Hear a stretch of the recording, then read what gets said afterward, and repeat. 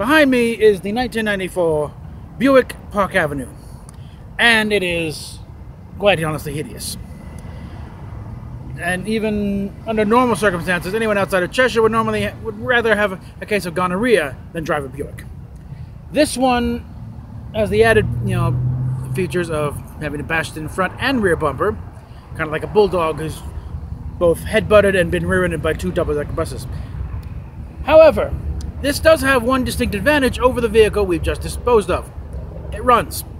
Actually runs quite well, considering there was a thousand dollars worth of uh, work put into it, and we only paid 500 And I'm gonna ditch the accent here, so you know, apologies, Jeremy Clarkson. Yes, we have a working vehicle now. Unfortunately, we're the trading in with trading the van for this vehicle was part of the deal, so we could not turn around and junk the van and get the $350 I had gotten the quote for. So we're kind of in a hole right now. But again, we have a working vehicle. So what we need now is gas money. In fact, uh, I got the possibility of one of two possible jobs lined up in Florida if we can get there. We just need, and figured this car requires about between 30 and 40 bucks to fill up at the current prices. And the numbers we crunched so far are probably about $200 worth of gas to get from here to Orlando area. And we've already got the insurance started. So what we need now is for you guys to chip in. Every little bit helps here. You know, at this point, even if we just get another 10, 20 bucks here just to get, you know, money, you know, to be able to go around. Because right now we still got to clean stuff out of the old, out of the van that we want to keep. I already cleaned out the trash, but we need to uh, get the rest of the stuff out of the van so this guy can do with it what he wants to. And there's still a, there's still a good deal of stuff in there when you get into storage. So, PayPal, Patreon down below. And hopefully we can actually get to some actual prop Star Trek content here. But yeah. But again, it's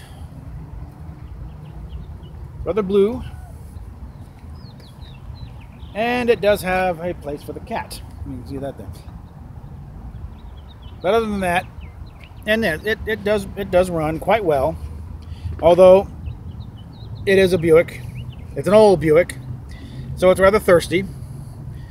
It's only a six-cylinder engine, but uh, still, another case of America baffles the world by showing how little horsepower can get out of so big an engine.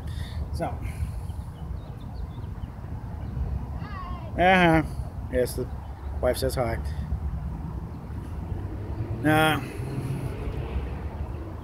and yes, I've seen the trailer for uh, second season of Discovery yeah, nice that they're moving towards original series uniforms, but uh, since we're still a few years away from where No Man has gone before, still the wrong uniforms. Nice try, Alex, but not quite there yet, okay? Again, admit it's a reboot, and a lot of the bad blood goes away. Simple as that. So, PayPal, Patreon, and also uh, want to sub uh, Ko-fi.com where it's like three dollar contributions at a time. That, that can rack up.